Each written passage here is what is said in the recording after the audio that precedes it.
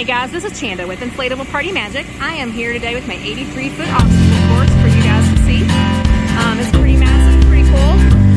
I'm going to show you what makes this one different and what makes this one great for teens and adults. When you talk about the teen and adult bounce house, this one is it. Obstacles are not all created equal. A lot of companies will sell you on the link. They'll sell you on a 50 foot or an 80